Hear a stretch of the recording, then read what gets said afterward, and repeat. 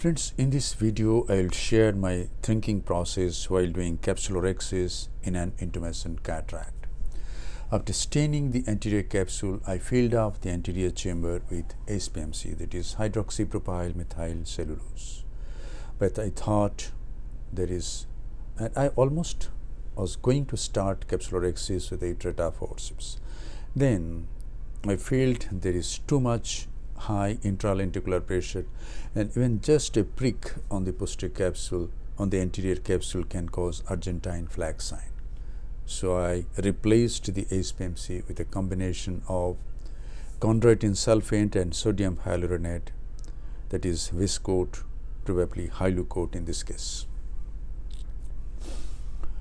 And now as I prick the anterior chamber with a 26 gauge needle and raise a capsular tag, there is less tendency of the capsular tag to run out.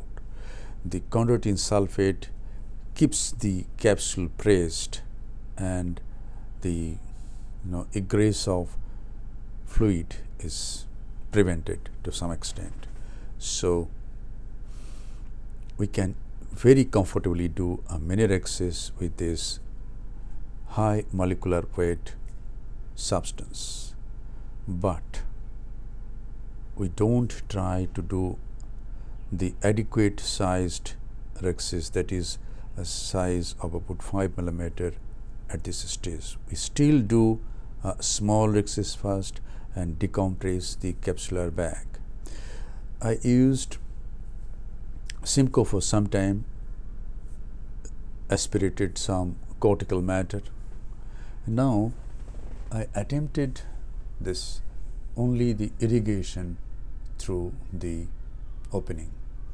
And as I irrigate the capsular bag and do tapping of the nucleus and try to rotate the nucleus, all the cortex come out through this opening and by the irrigation pressure, it comes out through the main wound and the capsular bag is very nicely decompressed.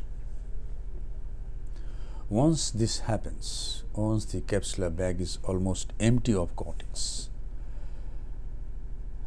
I used the Simcoe again to remove the remaining cortex that was floating in the anterior chamber that didn't come out by irrigation pressure.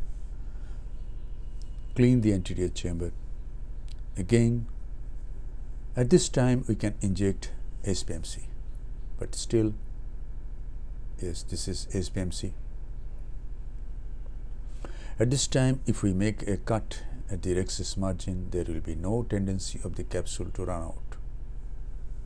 I make a small nick, use the Utrata, I go all around to do an adequate sized rhexis.